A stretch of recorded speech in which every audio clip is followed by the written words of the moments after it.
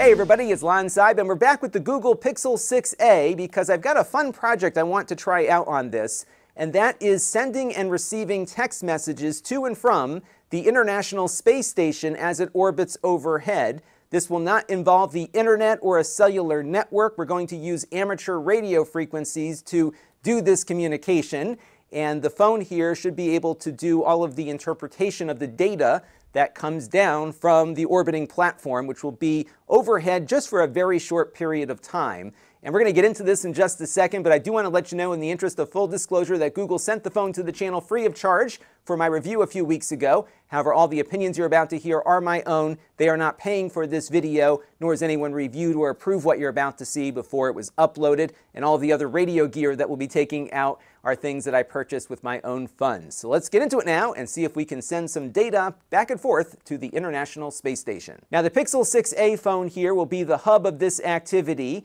we are running an app called APRSdroid. And what this app does is interprets data packets that are formatted via the APRS protocol.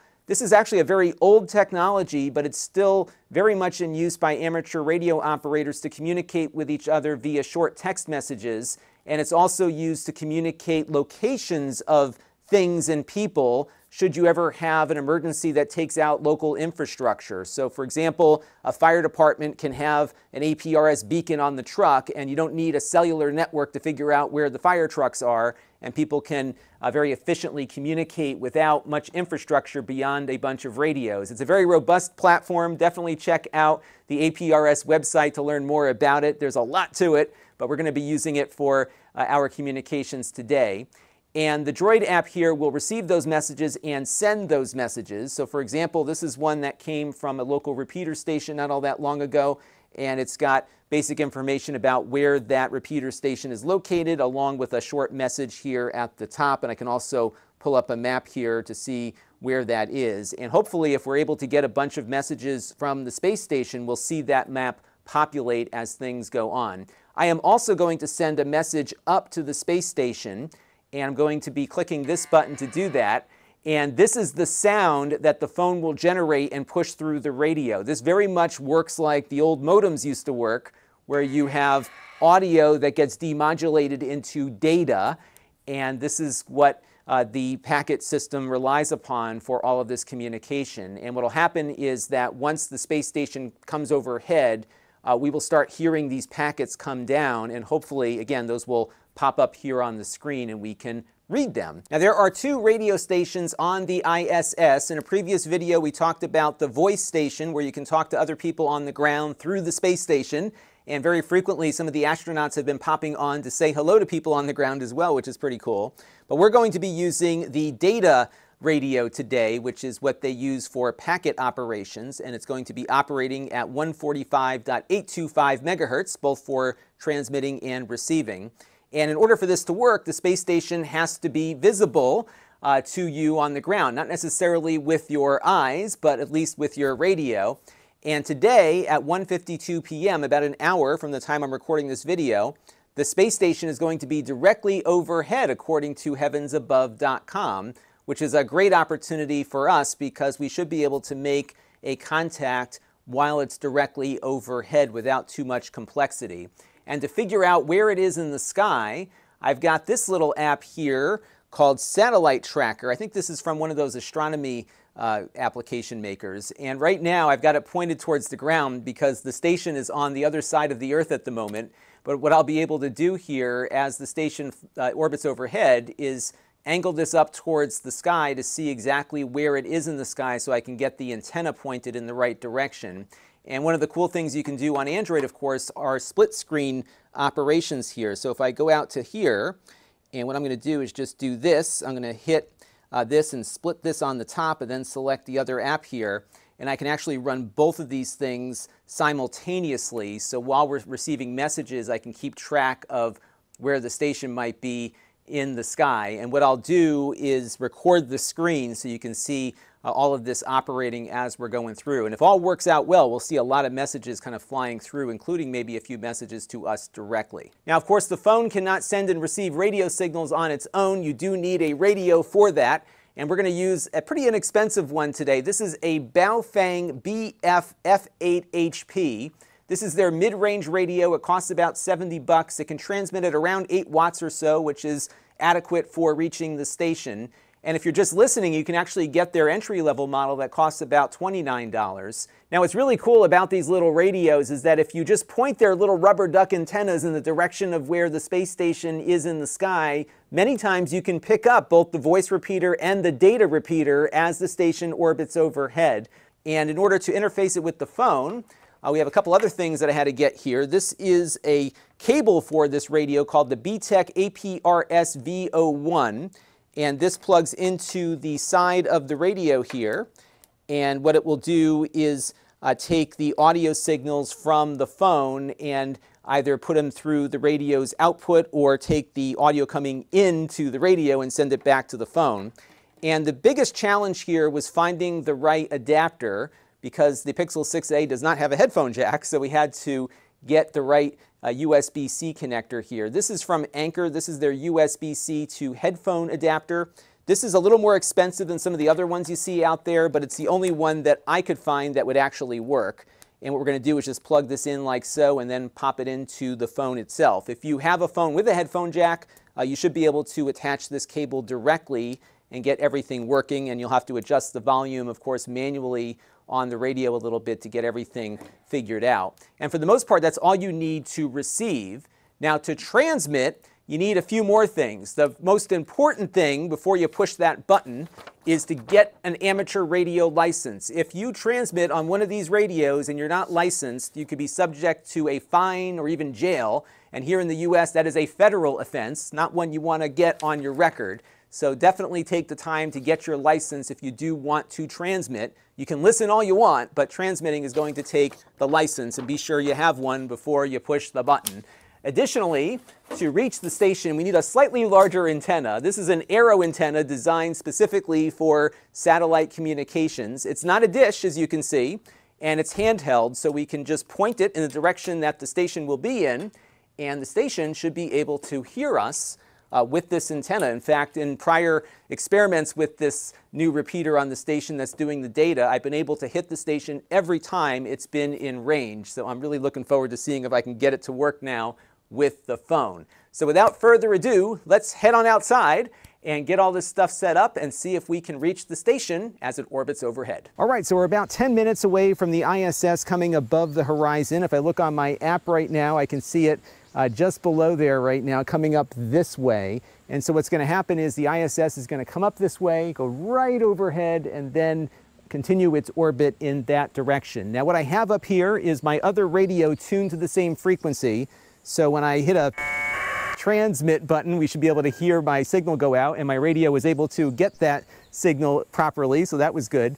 And we'll also be able to hear on this radio when things are overhead because when this one is attached, I'm not going to hear anything.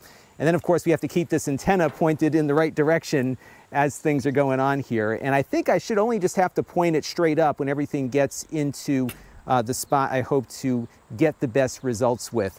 Also, what I'm going to do here on my other phone is monitor the ARISS.net website, which gives us a real-time view as to what signals are being sent back from the station to listening stations on the ground. So we'll know pretty quickly if we were able to hit the station as it orbits overhead.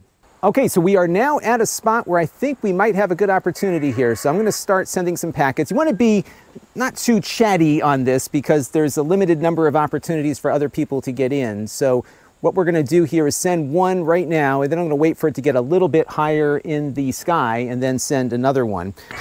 And we did just, though, get a, a packet from the station. And as you can see, we just got one here from two of them now have come in. So we're going to start sending mine out here and see if we can uh, hit it. So these two packets actually came from space. And this is what happens. It just kind of comes in like, like the sun rising, and you suddenly get a flurry of activity, and then it all just kind of drops away as the station goes away. So right now we are getting to a much higher height here and we are in a really good spot now. So I think we probably got picked up by the station. So let's go back to our phone here. And not yet, although I think we may have just gotten a message from somebody through the station. We did. So we actually had somebody contact us directly And we'll take a look here and see uh, what it says here. So he just is asking for a QSL, and I'm going to say QSO. And I'm going to give him my location here, which is FM31. And I'm going to send that up to the space station and hopefully he receives that and we'll be able to put it in our logbook that we talked to somebody. All right, if we go over to the list of stations here, you'll see that my call sign is popping up, KC1RGS, and that means that the repeater on the station got our signal and sent it back down to the ground. And we knew that worked before because we did get a direct message from somebody, but this is further confirmation that we were able to successfully communicate using a smartphone, a radio, and an antenna through the International Space Station. All right, we are back inside now, and I thought I would do a little debrief so you can see exactly what just transpired. These ISS passes are very challenging because you have a very limited window and you're trying to make as many contacts as possible during that span of time. You will always find people trying to communicate with each other through the space station whenever it's overhead, and today was no exception. Now, our phone here picked up four uh, different stations transmitting. And if we go to our map here, you can see where they're all located. So we had one as far south as Virginia here. And then there was somebody actually in my home state of Connecticut, uh, maybe about an hour's drive away here. So that's pretty neat. And if we go back here to the list of stations, I'll select the one that messaged me directly. And you can see that we heard five different messages through the space station into my radio and then decoded here on the phone. And if we go over to that website we were looking at outside, you can see here all the communication that the space station received from my station. So all of these here where KC1RGS is on the left are packets that were received and then these are the packets that were sent to me. Now what's interesting is that we did not hear from back from him after we sent him my location. But as it turns out, he actually did respond to the message that I sent him. It just didn't get to my radio. It could be that I was transmitting at the same time he was. A whole bunch of things could have contributed to that. But somebody on the ground picked up his acknowledgement to me. And what 7-3 means is basically like, hey, thank you, goodbye. You know, it's like the goodbye greeting. So it looks like we had a successful contact there where I put my call sign out to the space station. The space station beamed it back to Earth. This guy picked it up and then sent an acknowledgement back up to the station, received by my phone. I replied to him and he got it, and that was the acknowledgement there. I sent him my wrong map grid location, so I looked him up on uh, one of the amateur radio websites and sent him an email to correct it. And just a quick addendum, as I was getting ready to upload this video, I had checked my physical mailbox, and in it was this postcard from the individual that we were communicating with via the ISS. This is called a QSL card, which is a physical card you mail to somebody when you've had a successful contact. And as you can see here, he's acknowledging the time and the frequency, how we were communicating, and in this case, the satellite we were communicating through, which was the ISS. Very, very cool. There you go, a successful contact using a smartphone, in this case, a Pixel 6a, and a pretty inexpensive radio. And again, if you have one of those rubber duck antennas, just point it and listen, and you might be able to pick up something from the space station yourself. Just remember to get your license before you push that transmit button. That's going to do it for now. Until next time, this is Lon Seidman. Thanks for watching. This channel is brought to you by the Lon.TV supporters, including gold level supporters Chris Allegretta, Brian Parker, Hot Sauce and Video Games, Baby Metal Fox God, Tom Albrecht, Amda Brown, Matt Zagaya, and Tech Time with Eric. If you want to help the channel, you can by contributing as little as a dollar a month.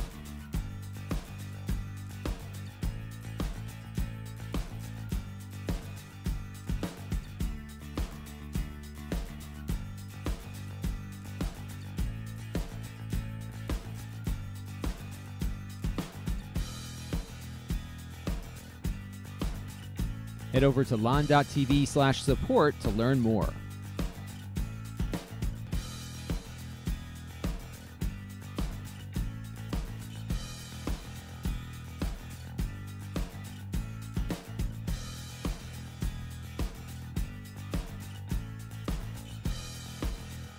And don't forget to subscribe. Visit lon.tv slash s.